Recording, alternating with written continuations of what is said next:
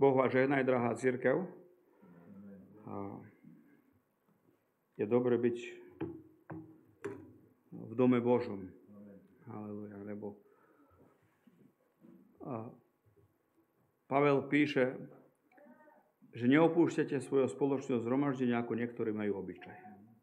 Tak je dobre, keď prídeme sem a z obyčají neopúšťame spoločného zhromaždenia. I keď sa stane, že si niekde na ceste asi nemohol stihnúť, ani si neprišiel.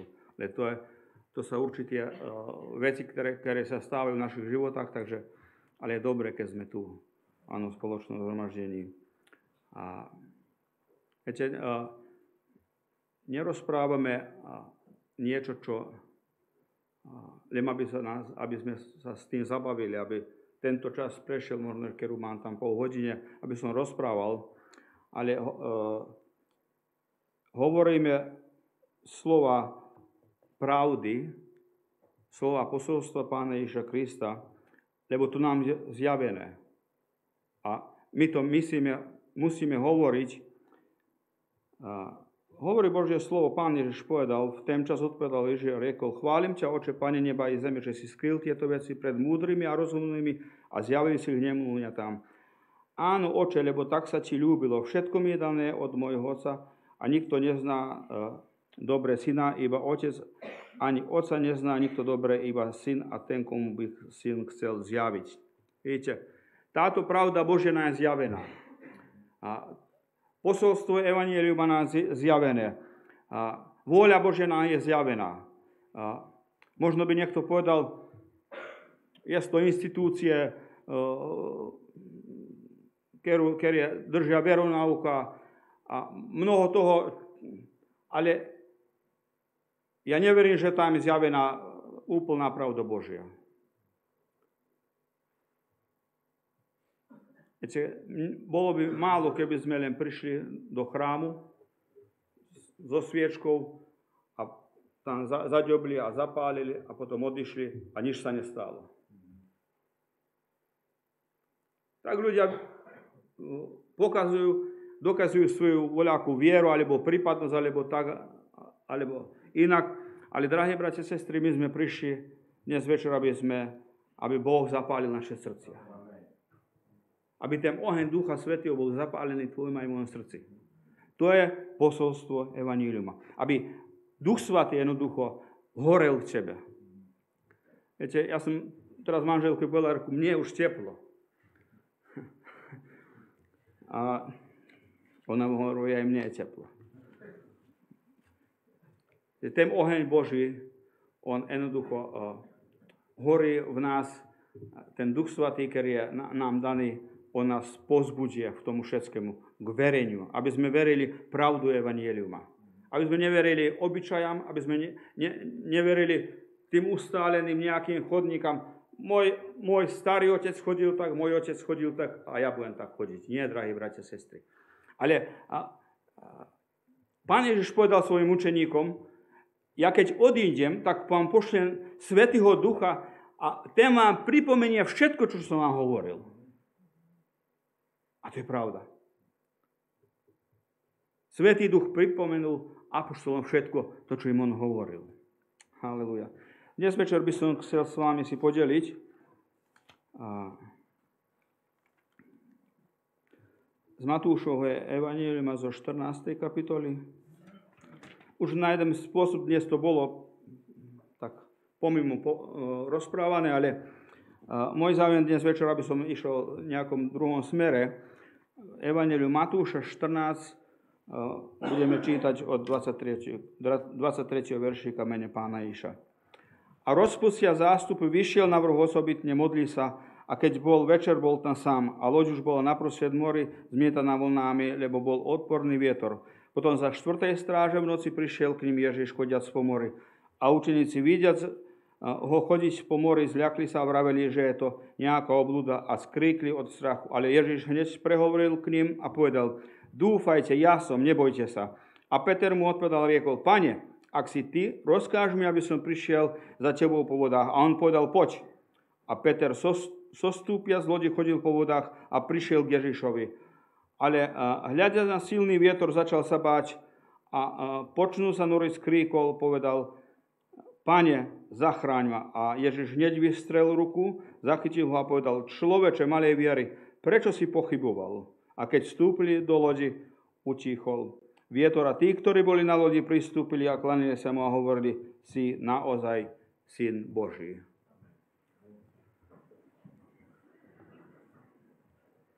Dnes večer by som chcel hovoriť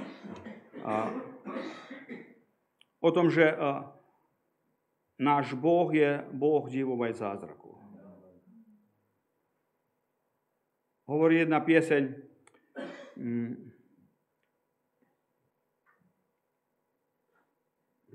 cítim sa pozdejšie. Hovorí o, o div, divov a zázrakoch. Uh, no. Náš Boh je uh, ten, ktorý koná divy aj zázraky. A e, čítame v Božom slove, že neuveria, ak nebudú vidieť divie zázraky. To je niečo, čo je e, nadprirodzené, ako čo sa stalo tu teraz v tomto texte, čo sme si prečítali. Pustil učeníkov a on vedel, čo urobí. Ako sme čítali, že prišla búra a Ježiš prišiel po vodách. Tento dej máme zapísaný iba tu v Matúšovom evaníliume kde Matúš zapísal, ako sa to všetko stalo. A viete, ľudia ako ľudia, Peter ako Peter, on bol v tom jeho voľakej povahe najrýchlejší odpovedaní alebo žiadaní od pána, alebo v tých veciach povedal, keď sa Ježiš prehovoril, povedal, pane, ak si ty povedz, idem aj ja po vodách.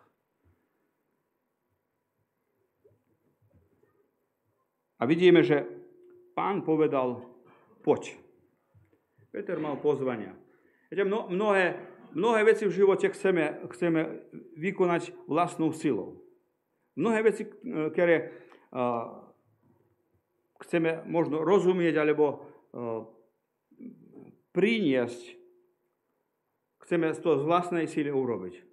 Ale ak nemáme na to povolania pána Ježiša, tak to určite nevypadne tak, ako sme si my rozmýšľali. V jednom momente pán Ježiš, e, keď e,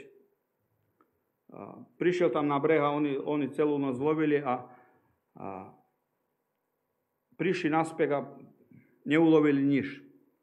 A potom im pán povedal, vyrazte e, na, na more a hodíte z pravej strany a uchytíte ryby. Viete? Ale oni boli skúsení rybári. Oni mali predstavu o tom, ako sa to všetko robí. Peter vedel, ako, ako, eh, ako eh, to všetko, že sa eh, ryby nelovia na deň, že ryby sa lovia v noci. On povedal, pane, my sme celú noc lovili, my sme, my sme dali všetku snahu, my sme upotrebili všetku svoju vedomosť a známosť, ale nič sa nestalo, Nech, nechceli sme nič. Nemáme ani, ani za fruštik. Nemáme nič, čo by sme dnes mohli vyniesť na, na pobrežie. Ale pán povedal, vyrazte ponovo a hoďte stiete.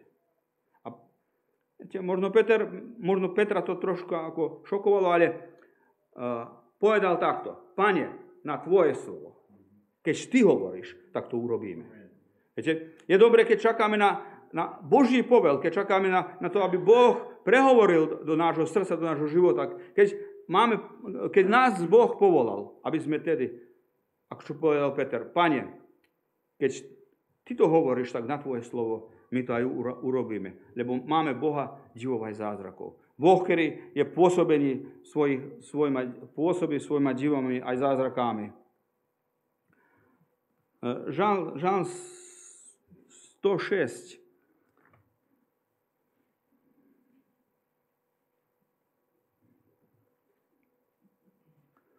Žán 106, 21, 23.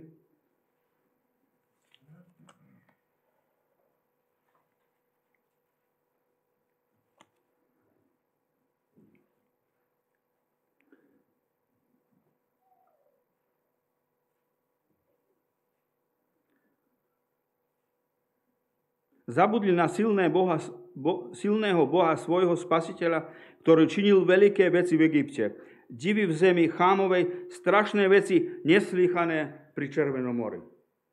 Už odávna bola povesť o tom, že Boh v Egypte, aj, aj keď národ Boží vychádza z Egypta, že Boh tam robil neslýchané veci. Že Boh tam robil to, čo nikda nebolo počuť, ani čo sa nikda nestálo. Že Boh tam urobil niečo, aby vyviedol svoj národ z otrostva egyptského a e, byl Egypt desiatými ranami a potom, keď ho vyviedol pri Červenom mori, ako hovorí Božie slovo, žalmista povedal, že Boh tam urobil neslýchané veci.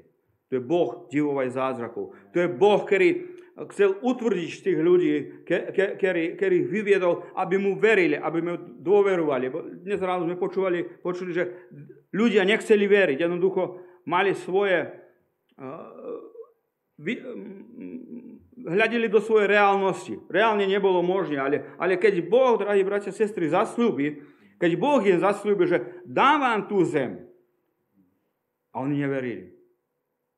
Zem, ktorá oplýva medom a mliekom. Hovorili, ja pôjdem pred vámi. A oni vrali, to sa tam silný muž, to sa opevnené, my to nebudeme môcť. Ale keď Boh niečo zaslúbi, On je to mocný aj splniť. On je to mocný, aby, aby uh, dočísol do kraja. Boh, ktoré, uh, boh, ktorý uh, dielo začal v tvojom aj môjom živote, On je mocný to dokončiť. On to dokončí. On, len musíme poslúchať na Boží hlas. Tí ľudia počuli Boží hlas, ale sa nezmiešalo to s vierou v ich srdci. Iba Jozua a Kalev boli tí, ktorí, ktorí dovolili, aby, aby to Božie zasľúbenie sa vytvorilo v ich srdci vieru, aby verili Bohu, že Boh im to dá. A Boh by ich istotne voviedol ešte tedy. Neboli by blúdili 40 rokov po púšti. Ale Boh by im tedy dal. Tak Boh divov aj zázrakov chcel utvrdiť tých ľudí. Dnes, drahí bratia a sestry, Boh je ten, ktorý aj dnes koná divy aj zázraky. Mnohokrát, keď si žiadaš niečo od Boha, Boh ti to učiní. Či je to ni div? Či je to ni zázrak? Či je to ni Božie pôsobenia v tvojom živote? Boh, keď ťa naplní Svetým duchom, či je to ni div? Či je to ni niečo, čo je zasľúbenia Božie? Či je to ni, že sa Božie zasľúbenia zmiešalo s tvojou vierou v tvojom srdci a si prijal to? Lebo to ti patrí, lebo tam Peter hovoril, to vám patrí. Drahí bratia a sestry, to nám patrí. Preto dovolte, aby sa to zmiešalo vo vašom srdci. Božie zasľúbenia, Boh to naplní. Boh svoje slovo naplní v tvojom živote. Len myslíš mu veriť, myslíš dôverovať, že áno, to je tak.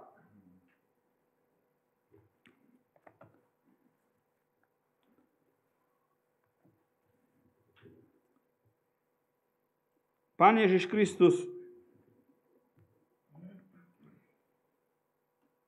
Jednoducho v tomto texte, čo by som chcel ešte rozprávať a povedať, aby som to priniesol, čo mi pán dal na, na, na moje srdce, že je, aby sa stal div v tvojom živote, že myslíš vykročiť zo svojej, voľakej, zo svojej sigurnosti, zo, zo svojho komforu, aby si dostal to, to čo má Boh pre teba narukované a to, čo ti Boh chce dať. Čítame v druhej knihe kráľov, v 5. kapitoli o Namanovi sírskom. To bol, to bol Edom, človek, ktorý, ktorý, ktorý slúžil kráľovi a hovorí Božie slovo, že v jednom momente sírovia vyšli, aby olúpili Izraela a zajali jedno, jedno dievča z izraelského národu, ktorá potom slúžila v žene tohto námana sírskeho. A ona mu rozprávala, keby môj kráľ, keby môj pán len odišiel, ako tu hovorí, keby môj pán dostal pred proroka, ktorý je v Samárii, vtedy by bol sprostený svojho malomocenstva. Tento človek počul jednu, jednu správu, ktorá bola jednoduchá. Keby môj pán len odišiel do zemi izraelskej, keby sa tam stretol s prorokom, ten by ho zbavil malomocenstva. Aká, aká veľmi krátka uh, správa.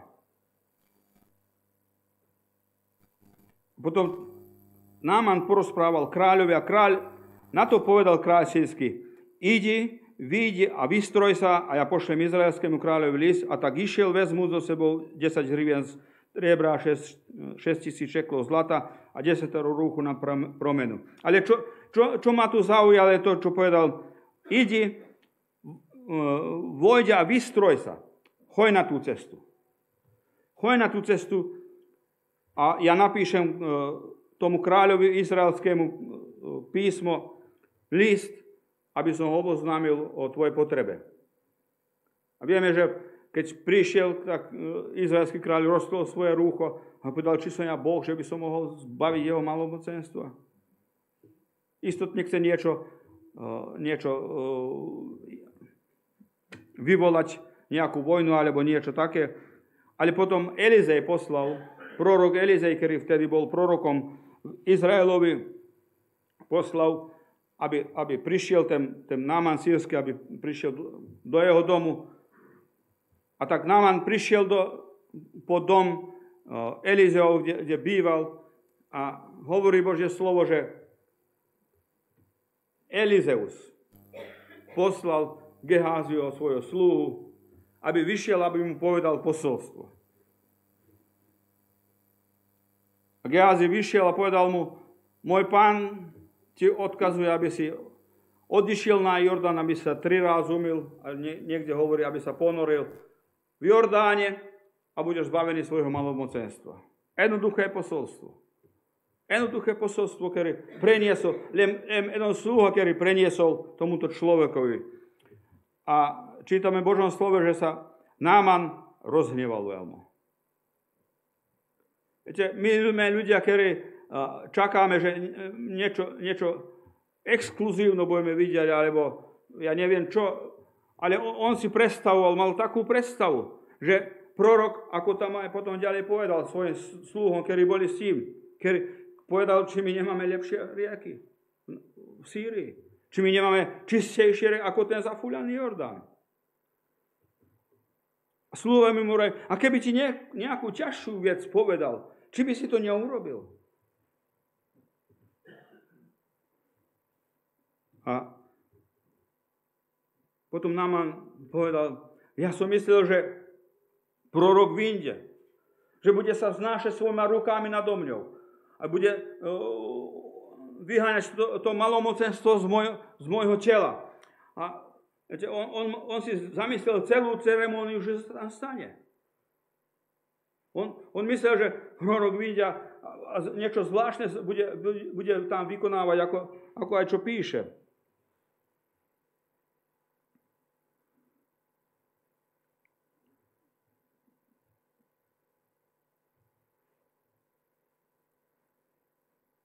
Že hľa povedal sám sebe, že doista vyjdem vyjde a stojac bude vzývať meno hospodina svojho Boha a že bude vznášať svoje ruky nad miesto postihnuté uh, nemocou a zaženie malomocenstvo.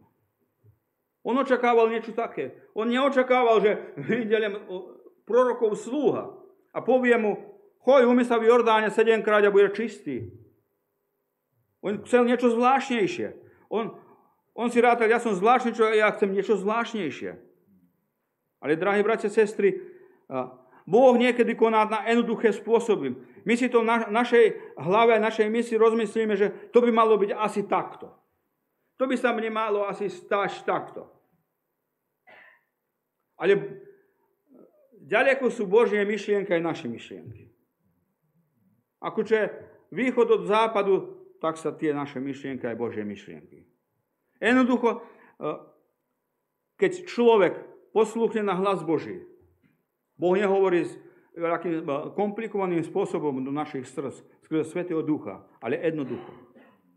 Spasenie je jednoducho. Uzdravenie je jednoducho. Len my to, my to veľa raz spravíme predstavu, ako sa by to malo stať a potom sa nič nestane. Potom eh, jednoducho povieme, nie, nie, možno Boh nepočuje.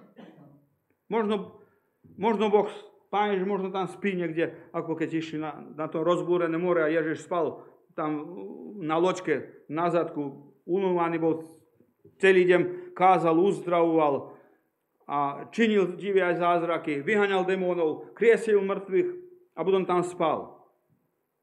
A povieme si, ako tí učeníci, váš, váš pána briga, on si tam a my tu ideme, loď sa potopí a my zahynieme. Ale Boh vedel o všetkom. Boh chcel vidieť ich vieru. Boh aj Petrovi povedal, potom keď začal tonúť, človeče malej viery, prečo si pohyboval? Prečo pochybuješ nad tým, čo ja hovorím? Prečo pochybuješ o tom, čo som ja povedal? Ale jednoducho, drahí moji, my sme takí ľudia. My sme ľudia, ktorí sme niekedy sú vyše komplikovaní v našom rozmýšľaní. Boh, drahí bratia a sestry, Boh je ten, ktorý uzdravuje naše nemoci. Halelujá. Nemoc, malomocenstvo bola nemoc, ktorá, od ktorej nebolo lieka. Ako čo teraz možno rakovina, od ktorej nie to lieka. Ľudia jednoducho nezastaviteľno. Je to voľaký rak za dva, za dva týždňa aj zožere človeka. Neostane nič z neho. Tedy bola tá, to malomocenstvo. Kervo bolo nevyliečiteľné. Iba Boh, keď povedal. Čítame v Božom slove, že Mária, Mojžišová sestra, bola malomocná. A myslela tam vyjsť za tábor a tam potom po, ponovo zišla, potom kniaz obzrel, či to malomocenstvo odišlo. A bola uzdravená. Bola uzdravená.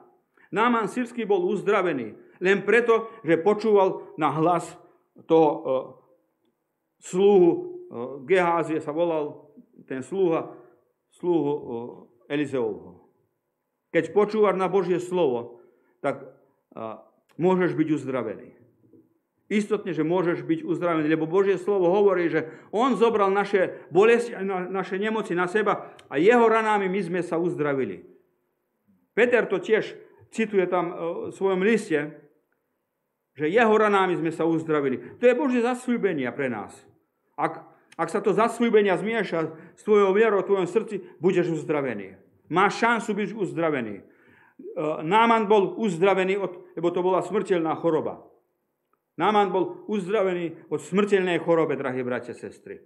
A dnes nie len, že rakovina je smrteľná choroba, ale hriech je smrteľná choroba, ktorá, vláda na tomto svete a jednoducho uh, vodí ľudí do zatratenia. Ľudia ne, ne, nepôjdu do, do odsúdenia za, za, za to, že hrešili a boli hriešni, ale za to, že odmietli prijať obeď Kristovu. Za to, že pohrdli s tým, čo Pán Ježiš Kristus urobil pre nás. Božie posolstvo je uver Pána Ježiša Krista a budeš spasený. Jednoduchá vec. Jednoducho. Uveriť Pána Ježiša. Zanechaj svoj hriešný život. Pavel hovorí, to, čo je za mňou, ja to na to chcem zabudnúť. Lebo to mi je viac nepôsobí radosť spasenia. To mi viac nepôsobí, aby som sa s tým ospravedlnil. Lebo Pán Ježiš, on povedal, ja som si nič nevyvolil medzi vámi kázať, iba Krista a toho ukrožovaného. Prečo? Za to, že to bol vrchol jeho verenia, vrchol toho, čo on veril a to, on vedel, že skrze to on je spasený. On vedel, že keď druhý bude kážať toto, jednoduché posolstvo, že ľudia budú spasení. Dnes je potrebné, aby ľudia verili Krista ukrežovaného. Židom pohorešeniu, Grekom bláznostu, ale nám, nám moc Božia, ktorá nás spasáva, ktorá nás jednoducho pozdvihne, ktorá nás oslobodí toho malomocenstva, ktorá nás oslobodí toho z, dediny, z dedinného hry, e, ten dedičný hriech, ktorý sa preniesol a ten jednoducho e, činí to, aby, aby nás zastavil, aby nás zabil. Ale prišiel Pán Ježiš Kristus, drahí bratia a sestry. Prišiel a zomrel pre nás. Tretí deň vstal z mŕtvych a porazil, kým, kým bol v hrobe, porazil smrť aj peklo a vyniesol kľúče života. A dnes môžeš jednoducho uveriť posolstvo spasenia. Dnes môžeš jednoducho doniesť rozhodnutia. Čítame si v Božom slove,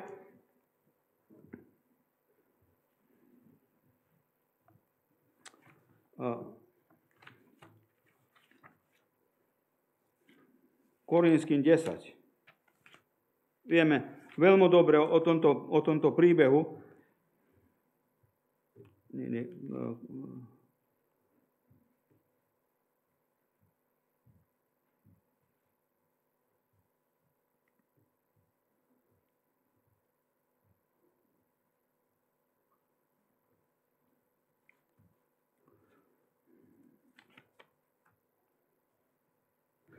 prepačte. Skutky. Skutky 10. Čítame tento, tejto 10. kapitoli o Cornelius, Corneliusovi. Ke, to bol človek, ktorý bol nábožný a e, ktorý dával e, almužnie a tak pomáhal ľuďom a v tom všetkom sa snažil, aby, aby e, mysliať si, že v tom, v tom všetkom zadovolí tvár Božiu, ale to nebolo dostatočné. To, čo robil, bolo dobre. To, čo uh, uh, robil tie a dával almužne, to bolo veľmi dobre, čo on robil. A Boh pohľadol na to. A hovorí, hovorí Božie slovo, že uh, Peter bol v Jope, ale prvo by som chcel po, povedať troška o Petrovi, to, čo mu Pán Ježiš Kristus uh, zveril a to, čo mu, e, to, čo mu e, to, čo, ako by som povedal, pán Ježiš prorokoval do Petrovho života. A čítame Matúšovej 16. kapitoli od Matúš 16. 13. veršik hovorí, a keď prišiel Ježiš do okolia Cezáre, Filipovi opýtal sa svojich učeníkov a riekol, čo hovoria ľudia, že kto som ja syn človeka. A oni povedali, jedni hovoria, že si Jan Krstiteľ, iný Eliáš a zase Jeremiáš, alebo niektorý z prorokov. A povedali im, a vy čo hovoríte, že kto som ja? Ak som povedal, Šimon Peter najrýchlejšie odpovedal a riekol, ty si Kristus, syn živého Boha. A Ježe odpovedal riekol mu, blahoslavný si Šimone, synu Jonášov, lebo telo a krv ti toto nezjavili, ale môj otec, ktorý je v nebesiach. A ja ti tiež hovorím. A teraz pán počal prorokovať do jeho života. A ja ti tiež hovorím, že si ty Peter skala a ja na tej skale zbudujem svoju církev a nepremôžujú ani ríše, ani brány ríše smrti. A dám ti kľúče nebeského kráľovstva a čokoľvek by si zviazal na zemi, bude zviazané aj na nebi. A čokoľvek by si rozviazal na zemi, bude rozviazané aj na nebi. To bol Peter, ktorý mu pán Ježiš prorokoval. Ale vidíme, že eh, keď ukrižovali pána, tak jednoducho zradil. Zradil pána Ježiša. Zradil ho. Eno, eno malé dievča prišlo a mu povedal, aj ty si bol s ním. Aj ty si chodil s Ježišom.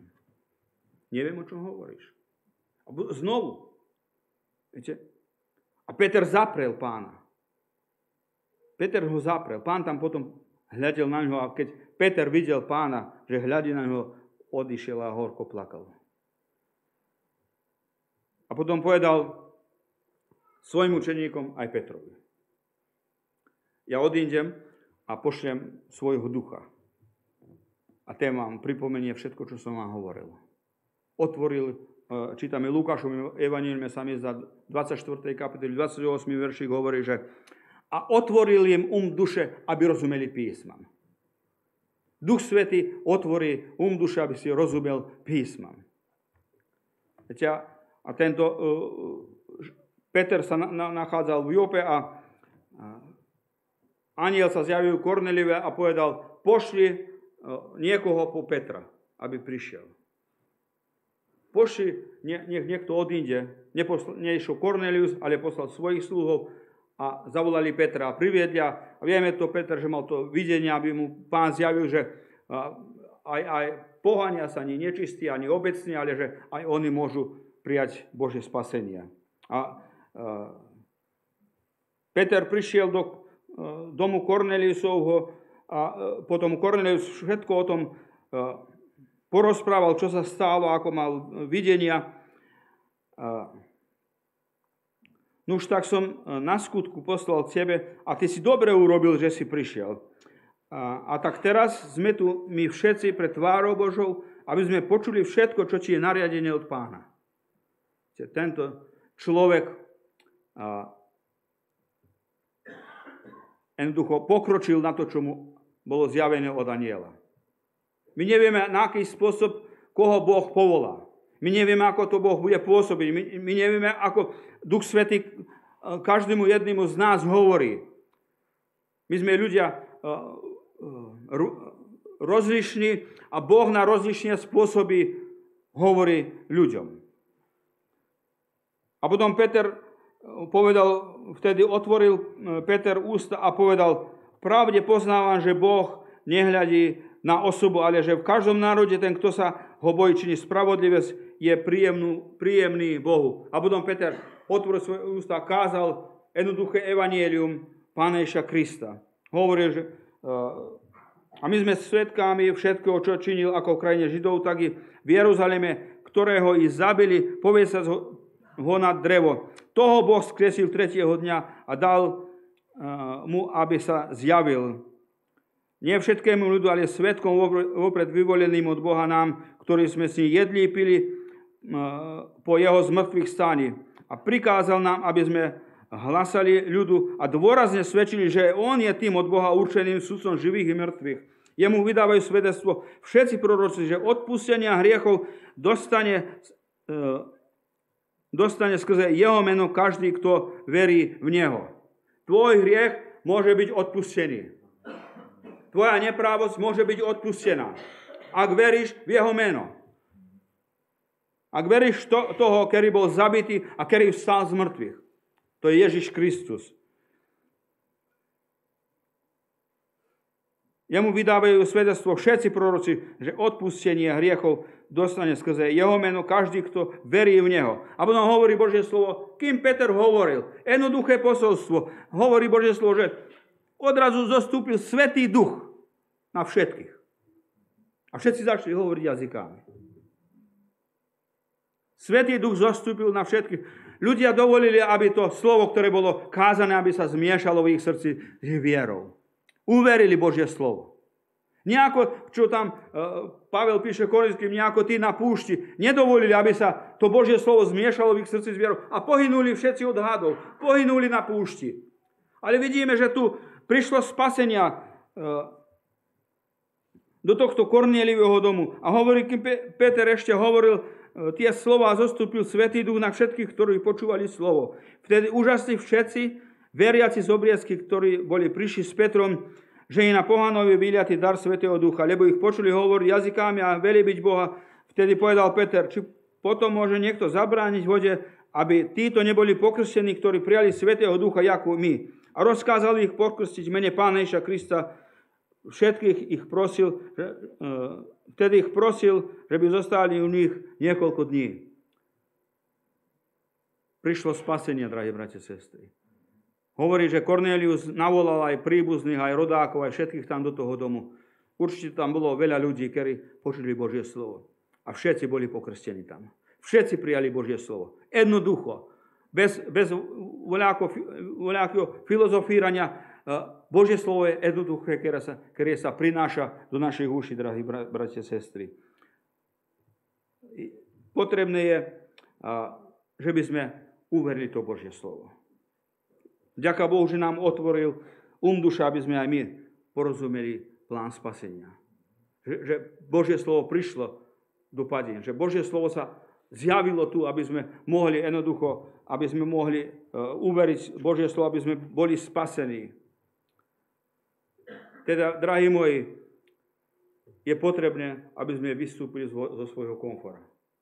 Žijeme v mnohých mm, situáciách, každý má svoje voľaké veci v svojom živote. E, Božie slovo nás vyzýva, aby sme vyšli z pochybnosti, z nevere, z nejakých márnych vecí, e, ktoré, ktoré nás cez celý deň zaokupujú. Pán Ježiš hovoril, žiadosť tela, žiadosť očí a chlúbna pícha života, ktorá sa tiská do ľudí, e, prenára mňa, aby, aby jednoducho nás zastavila e, v, v našom verení Pána Ježiša Krista. Vystup zo svojho ega. Vystup z toho všetkého, kde sa ty cítiš, že si, že si komfortný, že, že sa cítiš dobre, ale necítiš sa dobre v tom. Môžem ti dnes povedať, že necítiš sa dobre v tom. Že potrebuješ, že potrebuješ, aby si toho, z toho vystúpil. Aby sa stretol s Pánom Ježišom Kristom. Aby sa stretol na tom, čo je možno neisté. Ako čo Peter vyšiel. To nebola žiadna istota ísť po vode.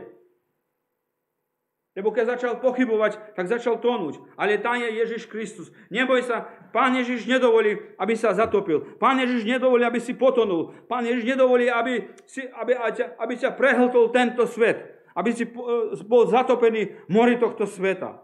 Ale on, on je tu, aby ti podal ruku. Len je potrebné, aby si spravil ten krok. My keď spravíme jeden krok Bohu, Boh k nám nemeraných. Boh k nám nemeraných. Vidíme z toho, drahí bratia sestry, všetkého, čo nás okružuje, čo nás tlačia, čo nás pritíska a čo nás zastavuje. Pán Ježiš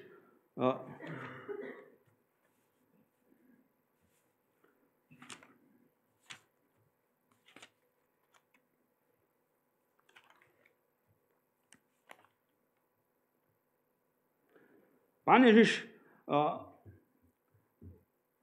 vyhlásil jednu výhlášku, ktorej hovorí takto. Poďte ku mne všetci, ktorí pracujete a ste obťažení, ja vám dám odpočinutie. Vezmite moje jarno na seba a učte sa odo mňa, lebo som tichý a pokorný srdcom a nájdete odpočinutie svojim duš, dušiam. Pán Ježiš Kristus dnes večer teba aj mňa povoláva. Poďte ko mne všetci, ktorí ste obťažení a pracujete. Poďte vy všetci, ktorí sa trápite s nejakýma vecma. Vykročte zo, zo, zo svojho komfortu. Vykroč z toho, z toho všetkého, čo cítiš, že, že nie je pre teba, že, že to prináša uh, tvoj nepriateľ tvojej duši. Vykroč z toho a pokroč Bohu. Pokroč k Ježišovi, lebo on povedal, poďte ku mne všetci. Poďme k Ježišovi, drahí moji. Poď k Ježišovi. Dnes večer. Jednoducho, nemrhaj viacej čas, aby, aby sme žili v tých rôznych veciach, ktoré nás odvájajú od nášho Boha.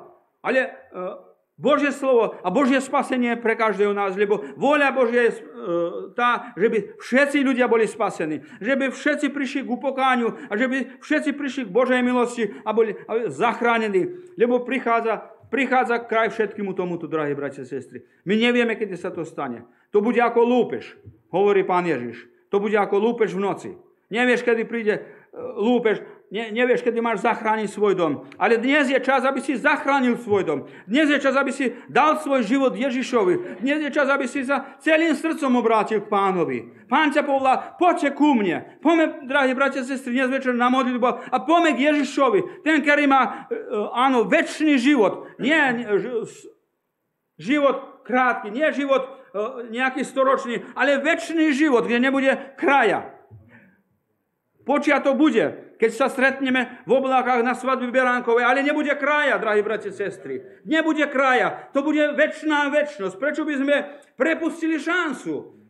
Ten Náman, keby tam neodišiel, on by prepustil svoju šancu a malomocenstvo by ho zožralo, by ho zničilo, drahí bratia a sestry. Dnes je šanca, aby sme sa oslobodili od dedičného hriecha, aby nás nezničil, aby nás jednoducho neotiahol do väčšného zahynutia. Ale nás Pán Ježiš povoláva, poďte ku mne všetci, ktorí pracujete a ste obťažení. Ja vám dám, Ježiš ti dá odpočinutia. Tento svet si nedá nič, tento svet si len kranie. Tento svet nás chce len olúpiť, ale Ježiš dáva život a to život hojnosti. Môžeš dnes večer prijať Pána Iša Krista. Dnes večer môžeš doniesť rozhodnutia, ja chcem ešte svetejšie žiť. Lebo e, Ján Apoštol hovorí nás ostro, z ostrova Patmos, hovorí, kto si svetý, posvet sa ešte. Kto si uh, čistý, očisti sa ešte. Dnes večer, drahí bratia, čas, aby sme prišli, aby sme umili, aby sme znovu a znovu umili naše rúcha krvi Ježišovej. Aby nebola nájdená žiadna škvrna, ale aby nás tá krv, ona je dostatočná, aby umila každý hriech. Ona je dostatočná, aby ťa očistila a posvetila, aby doniesla nádej do tvojho života, že keď sa zjaví Pán Ježiš Kristus na oblaka a On sa zjaví, že pôjdeš s ním, že budeš spasený, že budeš zachránený. Lebo uh, čítame v Evangeliume, Ján, Ján hovorí, e, Pán Ježiš hovorí v 14. kapitoli, nech sa nenaká vaše srdce. V dome môjho oca je mnoho príbytkov. Je to ešte mesto, drahí bratia a sestry. Milosť Božia sa nezakončila. Je to mesto pre teba. Je to mesto pre mňa. Nezaostávajme, nezaostávajme, ale pohníme sa nápred. Dovoľme, aby sa ten, ten žar jednoducho v nás roznecoval, aby bola, aby bola vatra v našom srdci, aby bol oheň Boží v nás, aby sme, áno, drahí moji, aby sme jednoducho uh, dovolili, aby Svetý Duch nás prezal, aby, aby nás Svetý Duch vodil. Halelúja. Dnes večer Pome, pome dobročiť nášmu pánovi. Povstaňme na, naš, na, na svoje nohe a modlíme sa a dobročíme a privolávajme a obracajme našu tvár k nemu, lebo on nás povoláva. Halelúja. Haleluja, naš sveti oče. Ano,